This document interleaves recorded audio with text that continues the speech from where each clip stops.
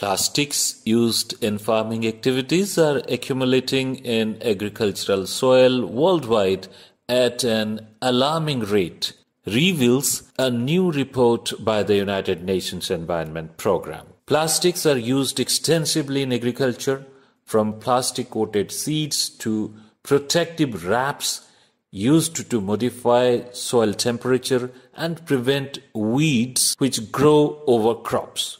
These synthetic materials also add intentionally to biosolid fertilizer, which is spread on fields and are used in irrigation tubes, sacks, and bottles. While these products have helped increase crop yields, there is a growing evidence that degraded plastics are contaminating the soil and impacting biodiversity and soil health the report wants.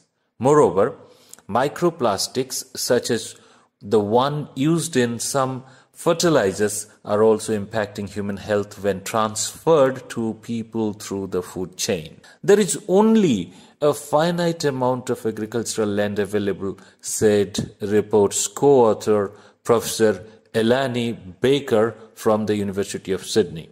We are starting to understand that buildup of plastic can have wide-ranging impacts on the soil health, biodiversity and productivity, all of which are vital for food security.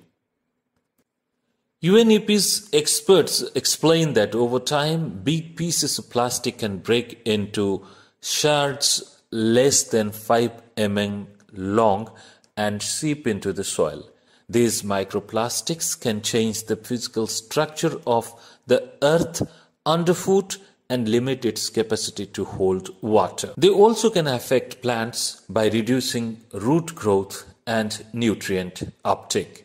Currently, the single biggest source of microplastic pollution in soil is fertilizers produced from organic matter such as manure. Although these can be cheaper and better for the environment that manufacture fertilizers, the manure is mixed with same plastic microspheres that are known to be commonly used in certain soaps, shampoos, and makeup products. While some countries have banned these microspheres, other microplastics continue to enter our water systems via discarded cigarette filters, tire components, and synthetic clothing fibers. Now, what to do? The report highlights that progress is being made to improve the biodegradability of the polymers used in agricultural products. However, some protective films used to prevent moisture loss are now being marketed as fully biodegradable and compostable, which is not always the case. Bio based polymers are not necessarily biodegradable. Some may be toxic as fossil fuel based polymers and their price is still an issue. A solution proposed by the report authors are the so called cover crops, which sealed the soil and are not meant to be harvested. These nature based solutions can suppress weeds, counter soil diseases, and improve soil fertility, but there are concerns they could reduce yields and increase costs once UNEP. None of these solutions are magic bullet. Plastic is inexpensive and easy to work with, which makes trying to introduce alternatives a hard sell, Ms. Baker explained.